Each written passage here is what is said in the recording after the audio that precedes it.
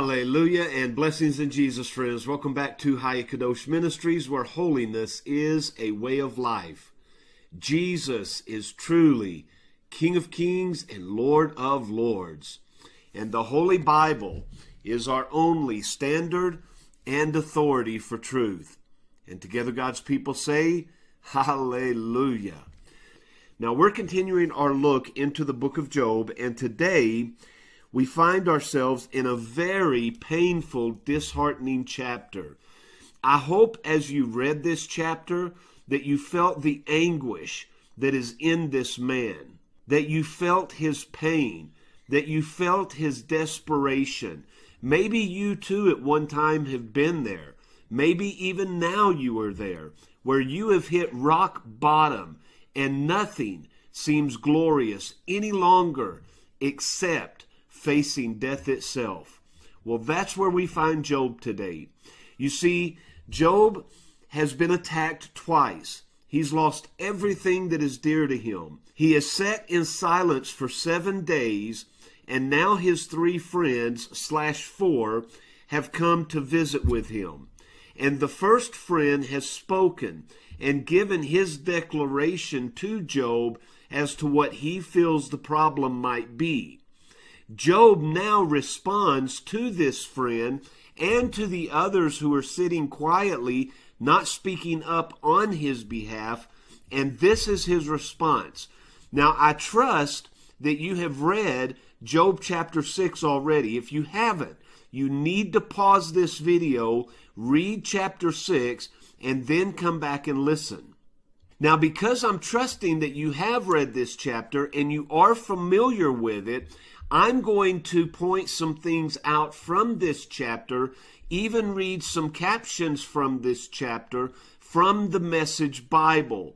It is critically important for you to understand what is taking place here.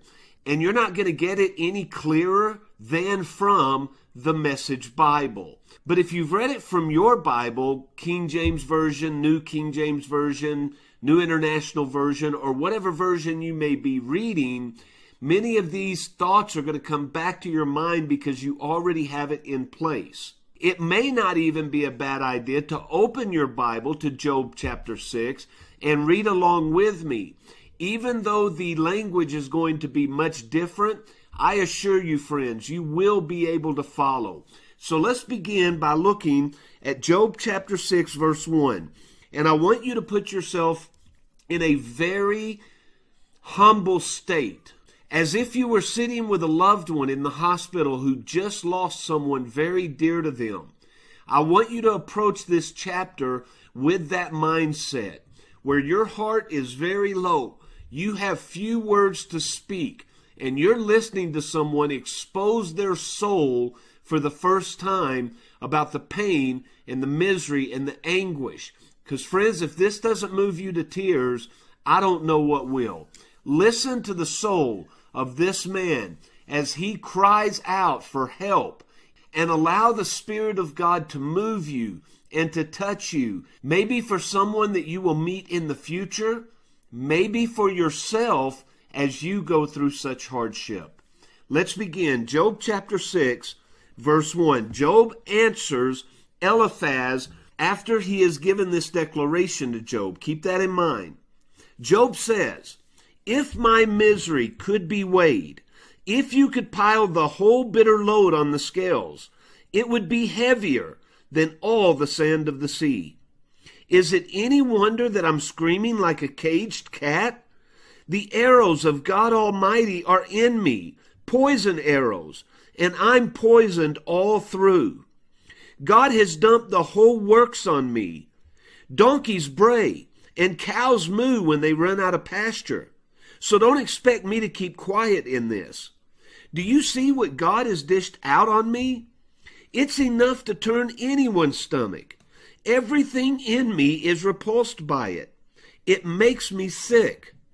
All I want is an answer to one prayer, a last request to be honored. Let God step on me, squash me like a bug, and be done with me for good. I'd at least have the satisfaction of not having blasphemed the holy God. before being pressed past the limits? Where's the strength to keep my hopes up? What future do I have to keep me going? Do you think I have nerves of steel?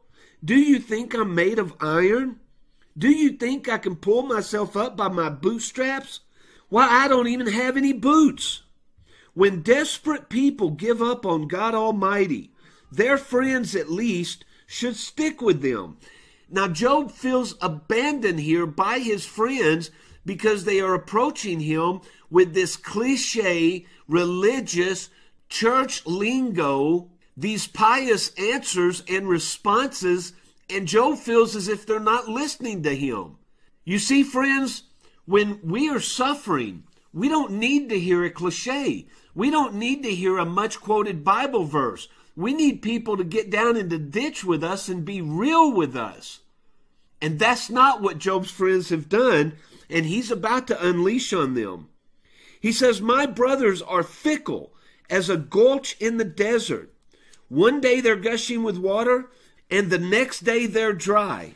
He says they arrive so confident, but what a disappointment. You, my so called friends, there's nothing to you. One look at a hard scene, and you shrink in fear. It's not as though I asked you for anything. I didn't ask you for one red cent, nor did I beg you to go out on a limb for me. So why all this dodging and shuffling? In other words, why all the cliches? Why all the religious banter? Confront me with the truth and I'll shut up. Show me where I've gone off the track. Honest words never hurt anyone. But what's the point of all this pious bluster you offer me? You pretend to tell me what's wrong with my life, but you treat my words of anguish as so much hot air. Are people only mere things to you? Are friends just items of profit and loss? Look me in the eyes. Do you think I would lie to your face? Think it over. There's no double talk here. Think carefully. In other words, what we said yesterday, consider what you're saying. You see, my integrity is on the line. Can you detect anything false in what I say? Don't you trust me to discern good from evil? In other words, Job's saying, Look, you know me. You're my friends. Don't you think I'd know if I sinned against God? You're not listening to what I'm saying. This chastisement, this punishment is not coming because of something that I've done. And yet, Job doesn't have the foresight to see that it is a purging process, as we discussed yesterday, to make him a better man, to make him a better follower, a better disciple. And nor do Job's friends. Everyone is focused upon why God is doing this to Job and not what it is that he would have Job learn from it. And so Job is not only facing the pain and the misery and the agony from this attack by Satan, but Job is experiencing the loneliness of knowing that he has to walk through this ordeal by himself. Because no matter how much his friends offer him support, they cannot meet him in his tragedy. And friends, I fear that that's so true of us. I know based upon my own life experiences that as loving and as good intentioned as many people were, no one met me where I was in my pain, where I was in my agony. I had to walk through those days by myself. And maybe that's the way the Lord intends it. Because if we can't find answers, if we can't find help in anyone else, we're only left to turn to Him. And isn't that the point of it all? That He get all of our adoration, all of our love, all of our appreciation? That we look to Him alone as our strength through such times of sorrow? Isn't that the lesson to be learned? And maybe that's the lesson that Job is learning. You see, we don't know much about Job's life. And although God said he was perfect and he was beyond reproach, Job still was not God. There was a need in his life, and God is revealing that need to Job so that the relationship can become much greater and much more rewarding. Well, friends, I wish that I had some positive words to leave with you today, but on this chapter, I don't because this chapter is filled with pain unlike anything we have probably ever known. Yet each of us can identify because we each have suffered and experienced pain, hurt, and disappointment in this life. So let me leave you with this one thought. Every one of us, before we arrive in the kingdom of heaven, we must walk through hell. And for each of us, that hell is different. For one person, it may be a prison sentence. For another person, it may be a disease. For another person, it may be the loss of a loved one. But all of us are going to experience hell in some fashion before we can ever enter into the kingdom of heaven. But as I reminded you the other day, I'll remind you again. As David said, Yea, though I walk through the valley of the shadow of death, or through hell itself, thou art with me. Thy rod and thy staff, they comfort me. Hallelujah. What a glorious God we serve. And when we get there, friends, and we look back and we see all the times we thought we were alone and He was there, the only thing that will leave our lips is hallelujah. Praise the Lamb, friends. Oh, hallelujah. Well, I trust that your day will be blessed today. I pray that you'll experience the love and grace of God. I pray that you'll walk in the Spirit. I pray that joy will be upon your lips and praise in your hearts. Now, as He wills, and until next time, friends, I truly love you, and I'll see you on the next video.